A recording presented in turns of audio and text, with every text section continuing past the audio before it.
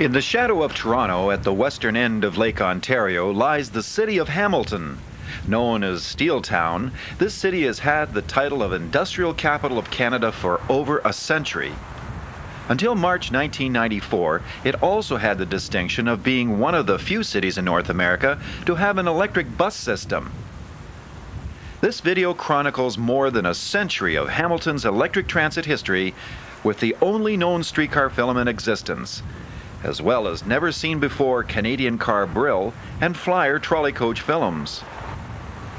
Fictional Operator 399 provides recollections of this bygone era with both motorman and bus driver anecdotes.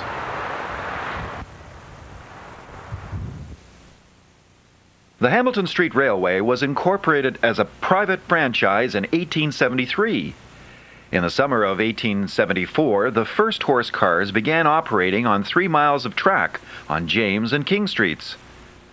By 1890, the HSR had 12 miles of service track, and by the summer of 1892, electrification of the system began, three months before Toronto. New equipment was ordered. To keep costs down, the old horse car bodies were remodeled and placed on new electric trucks. On June 29, 1892, a converted horse car, similar to this, with its gong clanging, packed to the roof with riders, sailed around the corner of King and James, much to the delight of hundreds gathered in the streets, signaling the beginning of the electric transit era in Hamilton. While the HSR ran a number of single truck open cars for excursions, 1894 provincial legislation required installation of closed vestibules on their other cars for the comfort and protection of the crews. By the turn of the century, the HSR was controlled by a power company that supplied cheap hydroelectric power for the running of the system. In response to several tragic accidents, Sleeman life saving catchers were installed on the cars to prevent people from falling under the wheels. As time passed, the condition of the second-hand cars from Brooklyn, Cleveland, and Boston became a constant source of complaints from passengers, and new equipment was soon ordered.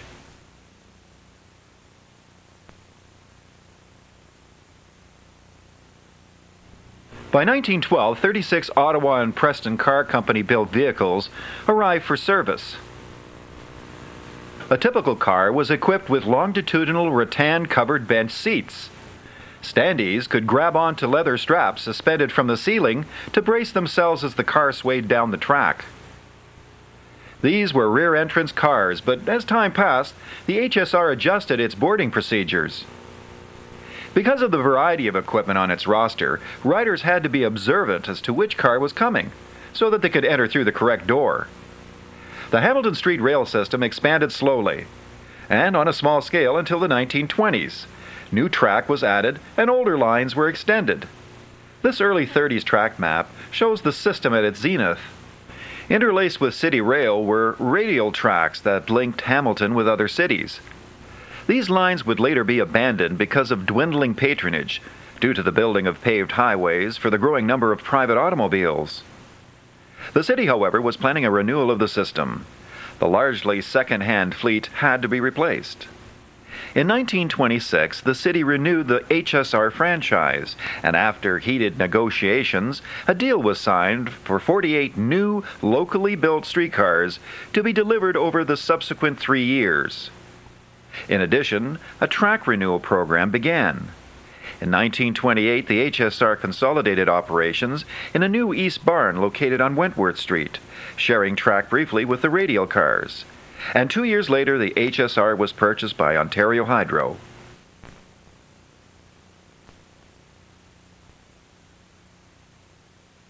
The new 500 series cars eventually typified the HSR's fleet. The lightweight steel body construction was rugged, and they were similar in design to other cars of the period. They were built for either one man or two man operation and ran on the Beltline and Burlington James South routes for most of their service life. In 1947, the Buffalo chapter of the NRHS chartered two 500 series cars for a tour of the double track part of the system.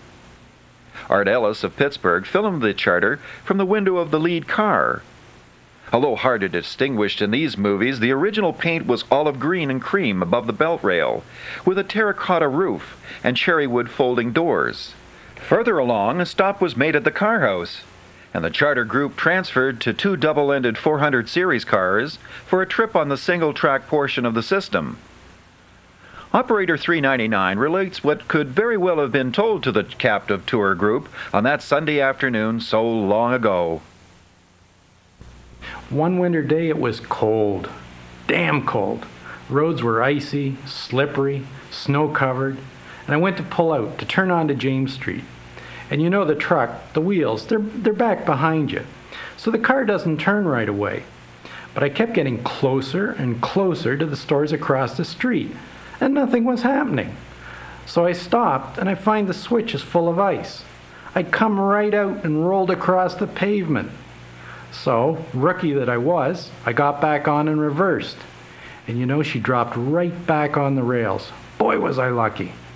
Then I took her ahead again, tentatively, and this time she cut right through and I was off.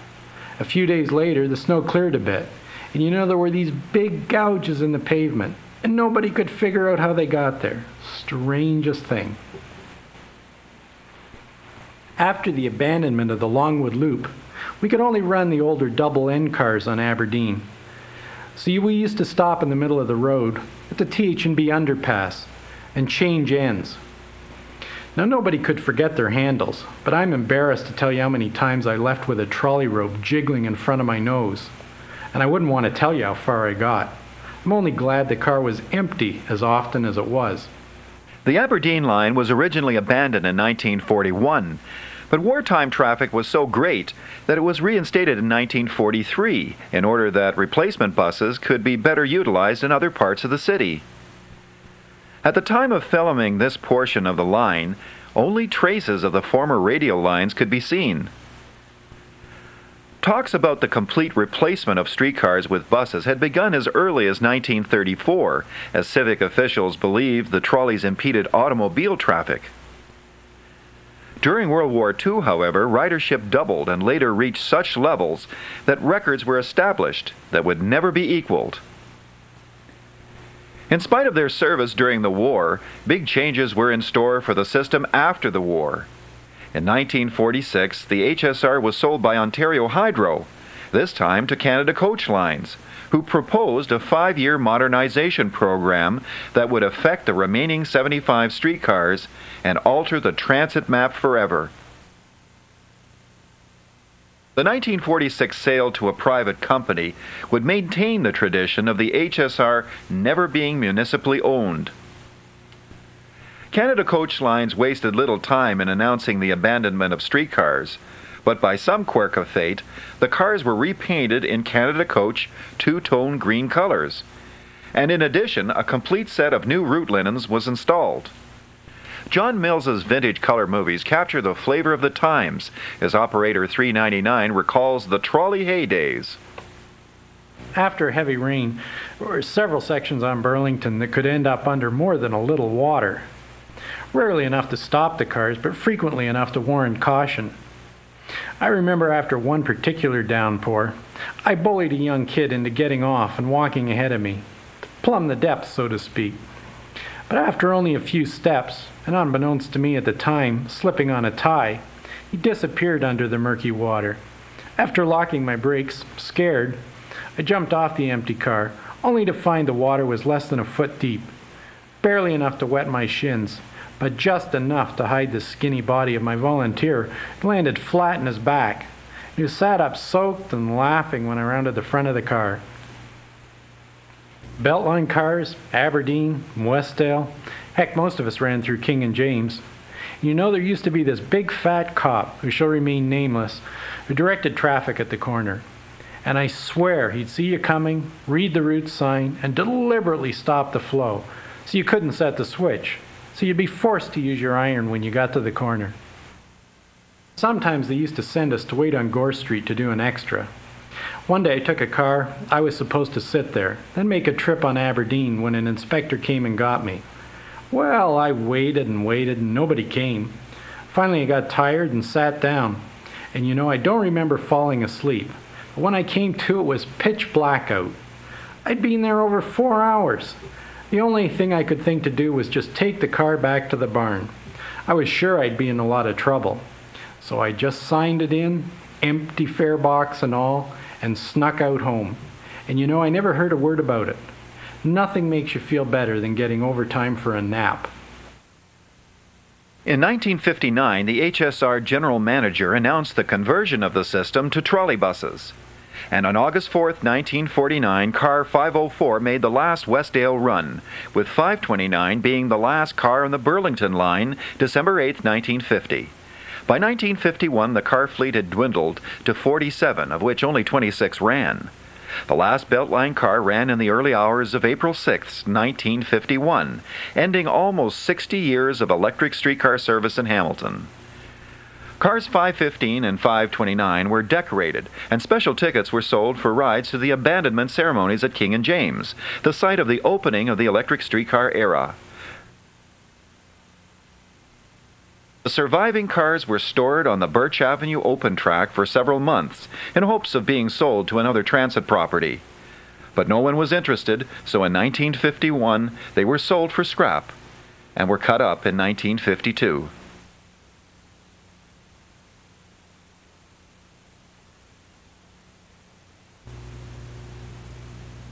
Hamilton was the second last city in Canada to set up a trolleybus system. Its first 48 seat Canadian car Brill trolley coach made its debut at the Hamilton Industrial Fair in late summer of 1950. Cannon Street was chosen as the first trolley coach line because its proximity to the car house made it easier to test the new vehicles. Opening ceremonies coincided with the closing of the Burlington streetcar line. Initially, Hamilton's trolley coach routes followed the old streetcar lines, but by the 1960s, when a one way road system was introduced, routing changed. As the years passed, routes were extended further east to serve the growing suburbs. Operator 399 records his days as a trolleybus operator. Cannon was the oldest, shortest, lightest patronized, and without doubt the toughest of the trolley routes to drive. Just to turn down Hughson Street, you had to straddle two lanes to manage to trip the switch and avoid running the back tires over somebody's feet. At the same time, of course, pedestrians ricocheted between the Right House and Kresge's right in front of you. Turning onto Wilson, you had no protection from onrushing cars. It was years before they installed a traffic light to help you.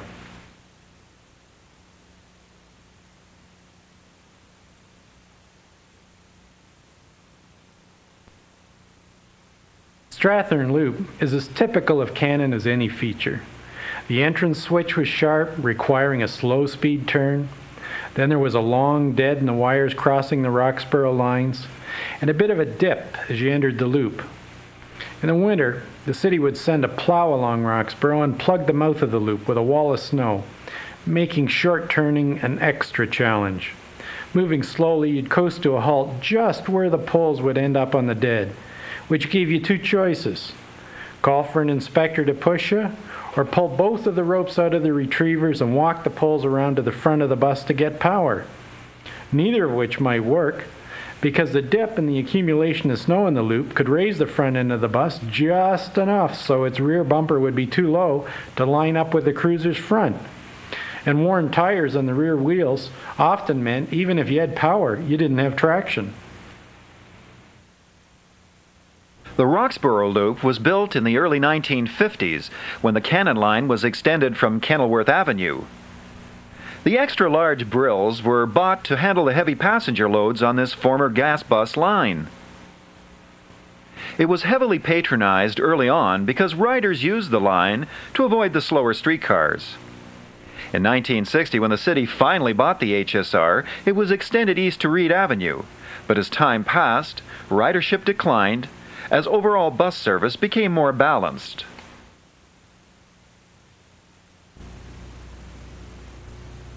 You can see one reason why the Cannon route was selected to be the first trolley route. You literally went out the gate and into service. The King and Barton lines originally followed the former streetcar routing and looped on James Street. When the one way street system began in the 1960s, the loop was moved west of James twice to serve the new City Hall before finally being located at the present day MacNab Street site. Service along King Street eastbound was always fast paced. Because of the great distance between King and Main, between Gage and Wentworth, patronage on the westbound portion of the King line in the AM rush hour was greater than eastbound in the PM rush. Most riders would find it more convenient to take the Cannon route home from downtown. The lighter eastbound traffic would result in operators laying back downtown and racing the coaches down the line to make up time. Sometimes two coaches would run together in trains, but could not pass one another because they were on the same set of overhead. The fact that these type of buses could not pass one another would later be an argument the politicians would use to get rid of them. An express set of wires down the middle of the street could have been a solution, but it was never discussed. As the busiest route, King service was always frequent.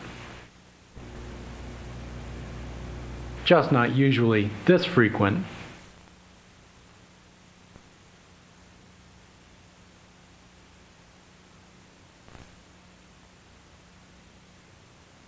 You know, if it wasn't a few years too early, I'd swear that's the Flying Dutchman following me.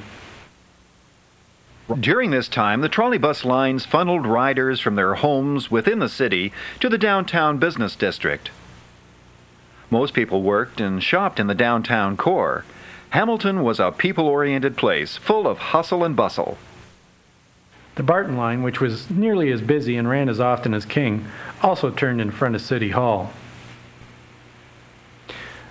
They ran east on Main and north on Hughson into a siding beside Kresge's. Power off in, power on out. The Barton line was the slowest line in the system, and schedules were hard to maintain as the coaches would get tangled up in traffic on Barton because it was a two way street. On Hughson, they shared the Cannon overhead and had their own trolley bay with separate overhead, so the Cannon coaches could pass. They then would proceed down Hughson to Barton, turn right, and proceed outbound to Melvin. East of Strathearne on Barton, the trolleys turned south on Walter, then east on Melvin, outbound. Probably the main reason for this was the residential development on Melvin. There were a lot of houses and apartments built along this stretch, while Barton, paralleling one block north, was largely commercial or light industrial east of Parkdale. These old brills, they were just great. Fast, Great heater in the wintertime. The only bad thing about them was no right hand mirror on the outside. You could never see how close you were getting to the curb. Always scrubbing the tires, pulling in.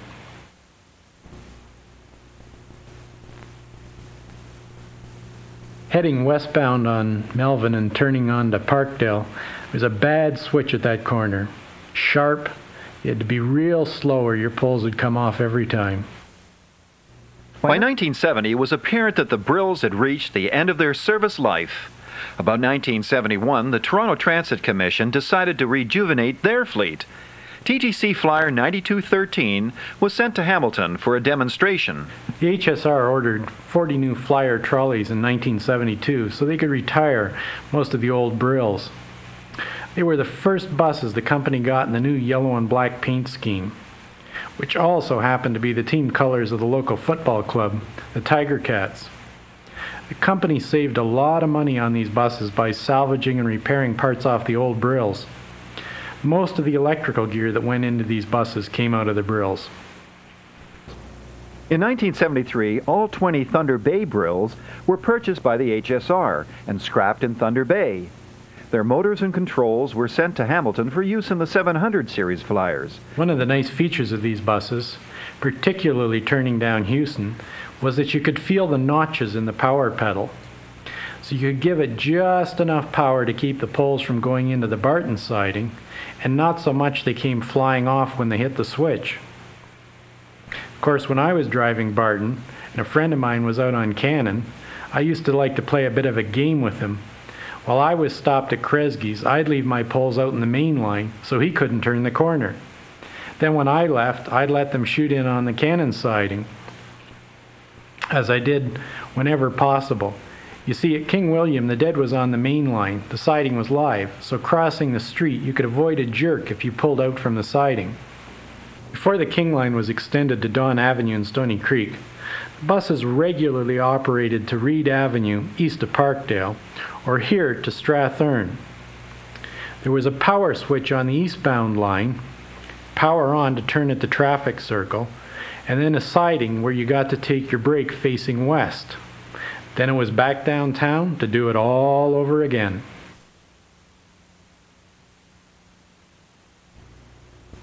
Power switches have sensors that activate them. This power switch has a broken sensor. Watch what happens.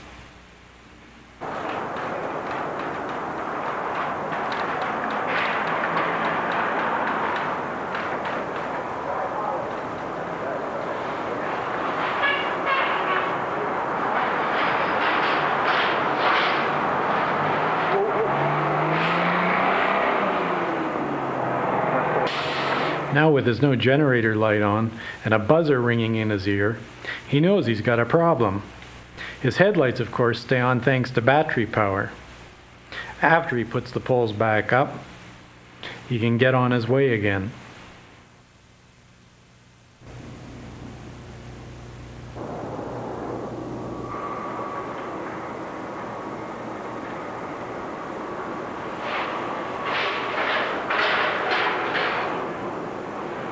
The HSR's interest in these coaches was very favorable.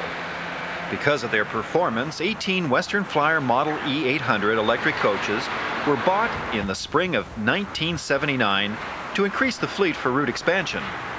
They had improved seating, visibility, superior heating, and they also had more driver comforts than the older models. These were the first electric buses to be 100% electric engineered, and not just a diesel bus with electric gear. The new coaches provided the extra buses needed for the King Route extension to Stony Creek that had begun in 1975. The Stony Creek extension was one of the rockiest episodes the HSR ever had. Its attempt to extend electric service was thwarted by classic NIMBY politicians who wanted nothing to do with the electric buses and their ugly wires. The community was saved when the HSR decided to stop the service just short of Grays Road and loop the buses in a field. The surface portion of the loop was the driveway located in Stony Creek, while the private portion was the loop located in the city. No passengers were carried beyond the sidewalk. When the Eastgate Transit Mall opened in the mid 1980s, it became the transfer point of all Stony Creek routes. Since the King route east of the mall duplicated service, it was cut back, and Stony Creek politicians rejoiced at their victory over the dreaded electric threat.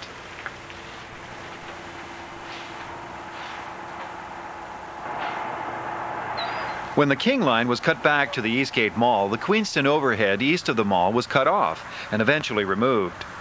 At its maximum, the HSR had 18.4 miles of electric trolleybus overhead, the 7800's interior sported blue double and single aisle seats and double stream rear exit push doors. HSR management expressed a desire to rid the city of trolleybuses as early as 1988, citing recent developments in compressed natural gas bus technology.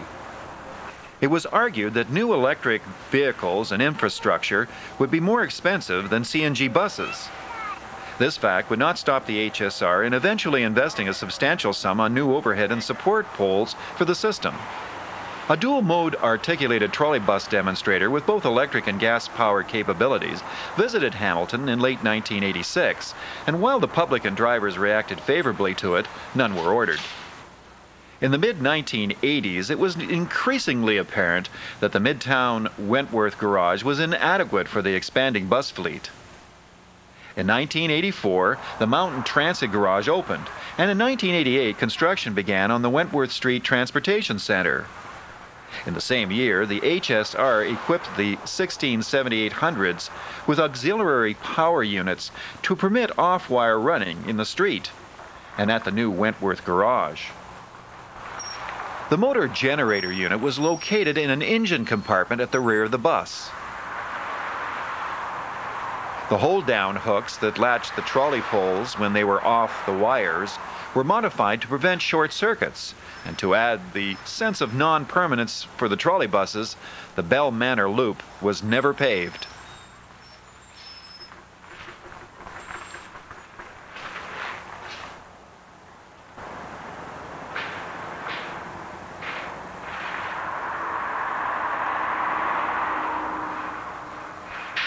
In 1990, the HSR moved into the new Wentworth Transportation Center, and during this Bus History Association tour, the wire configuration for the trolley bus entry into the yard can be seen.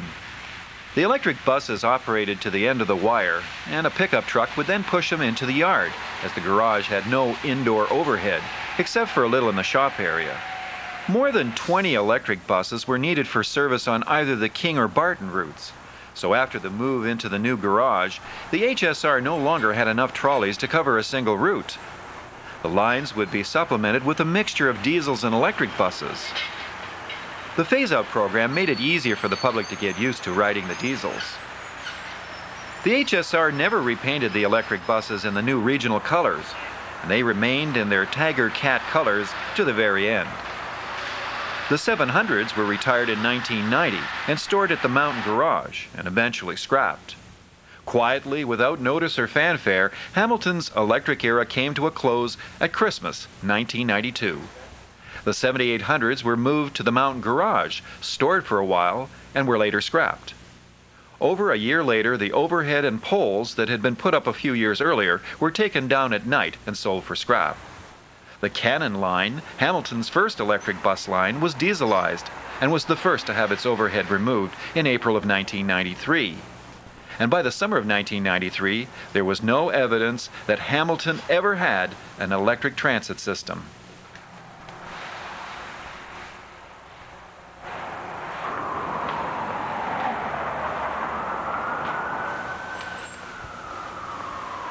Operators would no longer have to worry about losing their poles when they turned on to Main.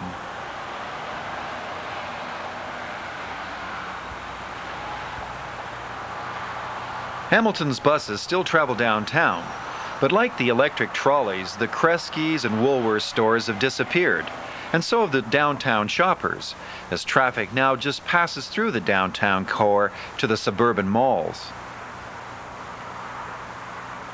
Electric transit served Hamilton well for over 100 years. And it remains to be seen if the next 100 years will be just as well served by these environmentally friendly natural gas buses. Hamilton's electric heritage can be viewed at the Halton County Radial Railway near Rockwood, Ontario.